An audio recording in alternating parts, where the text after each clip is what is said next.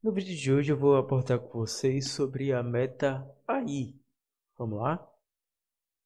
É a inteligência artificial aí do Facebook, Instagram, WhatsApp.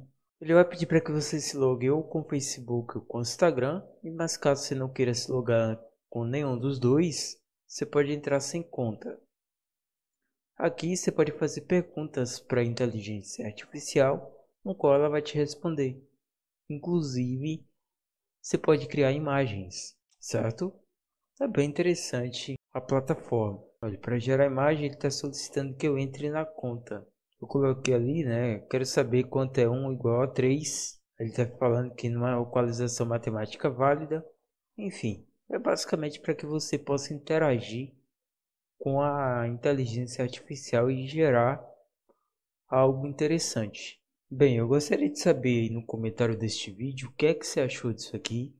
Se você já testou, se você não testou, recomendo testar, certo? Essa IA ela está disponível também para WhatsApp na versão de aplicativo, na versão do Instagram também na versão de aplicativo. Eu fiz um teste recentemente em um vídeo aí anterior sobre o aplicativo da Meta, né, a IA dentro do Message. E aqui utilizando o navegador, eu tenho a Meta IA. Não aparece a logo, mas a Meta IA aqui no aqui na informação já aparece. Todo mundo pode enviar para essa conta. aplicativo a Meta IA, Meta, né, no caso, essa inteligência artificial só está disponível de fato para o Android ou para o iOS.